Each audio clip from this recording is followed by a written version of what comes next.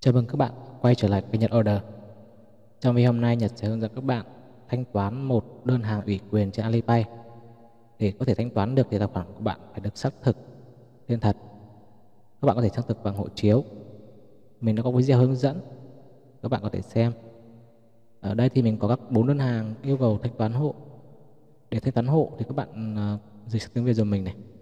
Nó có yêu cầu là đăng ký thanh toán thành công và trả tiền cho thanh toán cái hàng đầu tiên ấy thì các bạn có thể lựa chọn một trong bốn hàng này thì nó sẽ có từng lựa chọn khác nhau. Để thanh toán hộ thì các bạn chọn cái dòng dài nhất cho mình này là yêu cầu thanh toán tiền này. Ở đây nó sẽ hỏi mình là xác minh có xác minh là đang trả tiền khoản tiền này cho tài khoản này không?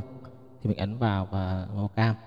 Đây là bước quan trọng này. Các bạn điền 6 số bảo mật à, thẻ của VNPay sau ấn nút màu xanh để à, hoàn tất quá trình thanh toán các bạn đợi một chút cho Alipay họ xác thực.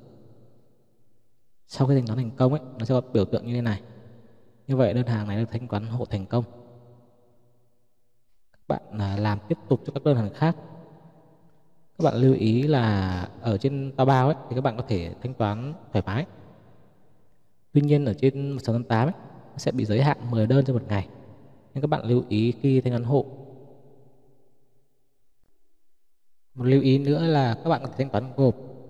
Thanh toán yêu cầu thanh toán hộ gộp ở trên tàu bao. Nghĩa là các bạn có thể thanh toán rất nhiều đơn ở trên tàu bao một lần. Còn trên 688 thì các bạn phải thanh toán từng đơn một.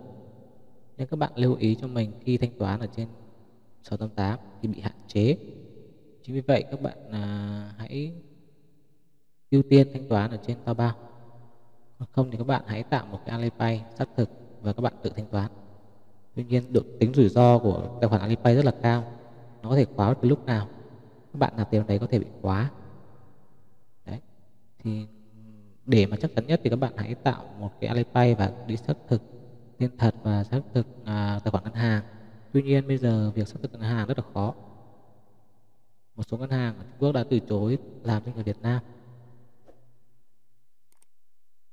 Đây các bạn thao tác thanh toán như bình thường các bạn lưu ý nhớ 6 số này nhé nếu không có 6 số bảo mật này thì không thanh toán hộ được đâu. Đấy, như vậy chỉ là hướng dẫn các bạn cách thanh toán một đơn hàng ở trên Alipay nhiều người bạn không biết cách thao tác ở trên này. Thì mình hướng dẫn các bạn cách cơ bản nhất. Có rất nhiều cách thanh toán nhưng mà đây là cách cơ bản nhất mà thường dùng. Các bạn có thắc mắc vui lòng để lại thông comment ở dưới bình luận cho mình nhé nếu video hữu ích để một like đăng ký kênh. Xin cảm ơn các bạn rất nhiều.